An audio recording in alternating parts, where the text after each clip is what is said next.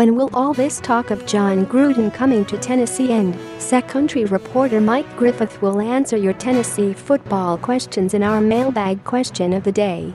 Join the conversation by sending your questions via Twitter to at M-I-K-E-G-R-I-F-F-I-T-H-32.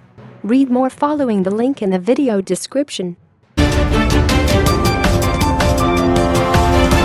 Why Tennessee is avoiding litigation, for now, against opioid makers.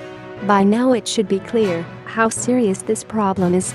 The numbers are staggering 91 Americans die every day from an opioid overdose according to the Centers for Disease Control and Prevention, CDC. Read more following the link in the video description.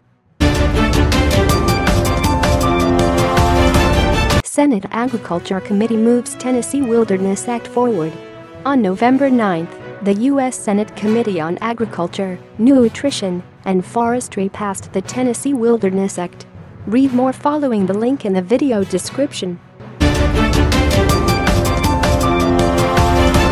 Florida, Tennessee need big name coaches now, or SEC won't change at all.